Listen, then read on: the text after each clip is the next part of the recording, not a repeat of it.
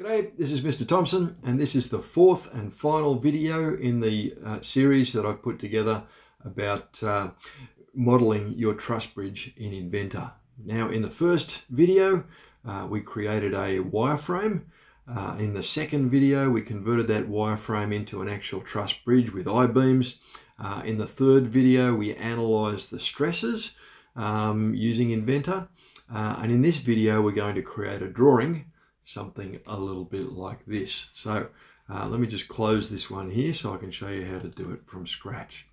All right, so I'm going to assume that you've already created your truss assembly uh, with the I-beams, so something like this as shown in the second video. All right, so once we've got that, um, we're going to go File, New, and again, so just show, hang on, let me just cancel that. So again, File, New from here um, not from one of these. Okay, so file new, uh, and again, we're going to come down to the metric section of templates there. Um, okay, a part, we created a part when we did the wireframe, we created an assembly, um, or we turned it into an assembly when we added the truss beams or the I-beams. Now we're going to do a drawing. Now there's a bunch of different types of drawings, different standards. Um, we're going to choose the ISO uh, standard, an international standard. And there's two different file types we could choose from, a DWG or an IDW. IDW is the Inventor native file format, and that's the one I'm going to use. Uh, it's going to be a little bit smaller than a DWG. DWG is the file format for AutoCAD. Um, and um, so if you want more increased compatibility with AutoCAD, I guess you could use the DWG file, uh, but I'm working entirely in Inventor, so I'm just going to use the, I, the ISO.idw. So double click on that, and all right, so there's my sheet. Now, the first thing I'm going to do is come and check the properties of my sheet. So I'm going to right click here on sheet one and edit sheet like that. And look, as it turns out, um, this is correct. Uh, I'm using an A3 size um, sheet of paper, so you might just want to check that that's right. And it's landscape, so I don't have to make any changes there.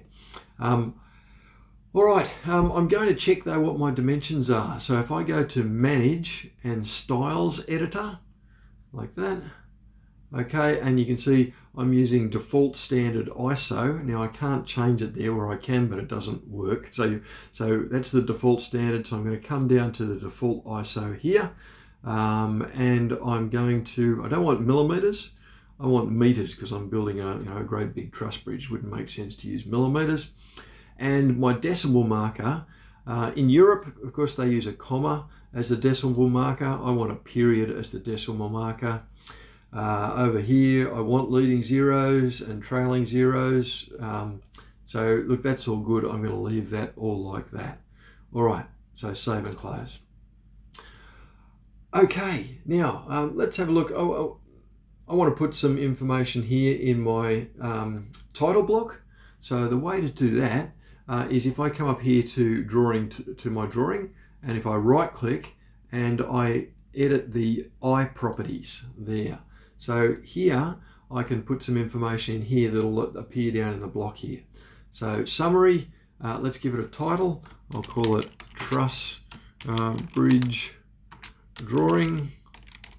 Well, let's just call it truss bridge. Eh? Let's call it truss bridge. Uh, and if I apply, we can see that the title then appears down here.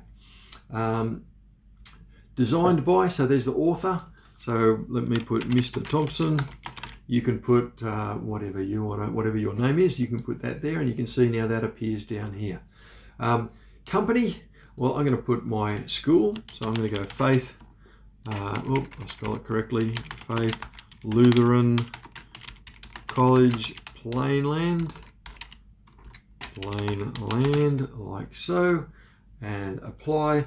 And so you can see I've started to fill this in down here. Now, um, you could, if you wanted to, if you come over to status, you can do uh, checked by and approved by. And I guess if you were in a uh, engineering company, you would have different people checking and approving uh, any drawing that you do. Um, I'm not going to use those. So that'll do. Now, look, you can, um, if you want to get clever, you can create, create your own custom title block there and you can put logos and things like that in there. I'm uh, just going to stick with the basics. So that will do me.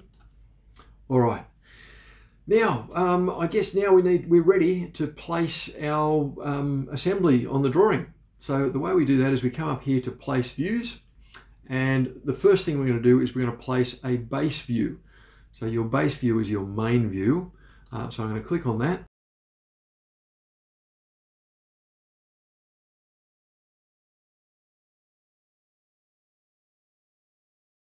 Now it's put an end view. Uh, now I don't really want an end view. I'd rather, I think my main view would be a side view. So I'm just going to rotate that like that. There we go. So that's my, uh, that's my, I guess it's going to be my base view.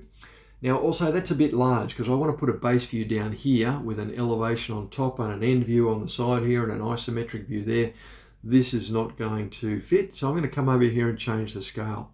At the, main, at the moment the scale is 1 to 100 let me change it to 1 to 200 and that's a, that's a better scale for me okay? A couple of other things in here.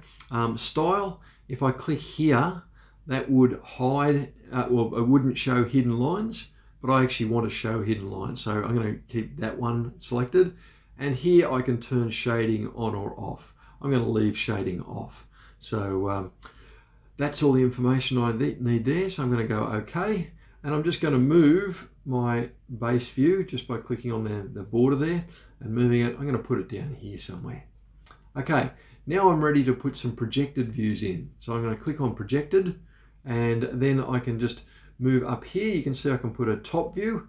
So I'll put that up there and I can put an end view and I'll put that over there and I can come up here and I can place an isometric view. So I'll just put it uh, off to the side a bit so I've got some room for dimensions like that. Now this is a bit cryptic. Uh, the way to actually create all those views that I've just defined is I now right click and create. So now I've created those views. All right, uh, the next thing to do is to dimension my drawing. So uh, I'm going to come over here under annotate and I'm going to dimension uh, my um, base view and my these two projected views. I won't put dimensions on the isometric view. Um, how to do that, it's pretty straightforward. Look, I'll only do a few and I'll show you a couple of little tricks, um, but uh, I'll just do um, a few of these and you can do the rest on your own. But basically we come up over here and we click on general dimension. Of course we can do these other sort of dimensions here as well, but you can play with those. So general dimension, so let, what if I wanted to know the total width of the bridge? So let, let me zoom in here, the total width of the, width of the bridge. So if I click from that side, to that side and then maybe zoom out a bit. And now you don't want to put your dimensions inside your drawing. If possible, uh, you want to put your, your dimensions outside the drawing. There we go, like that. And now because, I'm going to click OK, because I set my default units to meters, it's put that in meters and it's used all the conventions that I set up before in my style sheet or in my style. Now, um, uh, actually, let me show you a couple of things here. What if I wanted to mention the distance between the centers of these um, I-beams here? Now, if I zoom in, that looks like a center line, but it's not. If I zoom right in, see that's my I-beam, that's the outer edge of the I-beam, and that's the inside section of the I-beam. I really want to have a, a, center line here, so let me show you how to do that. Um, often we use center lines for holes, and uh, circular objects, but it's equally valid to put a center line into uh, something like an I-beam like this. Um, so what I'm going to do is I'm going to come up to here, and these are various different styles of center line I can use. This is the one that I want. I'm going to put a center line between two lines. So I'm just going to click on this line here and this line here, and it's created a center line. If I zoom out again, you can see it's created a center line that bisects those two lines. I'll do the same over here, there, and there is another center line.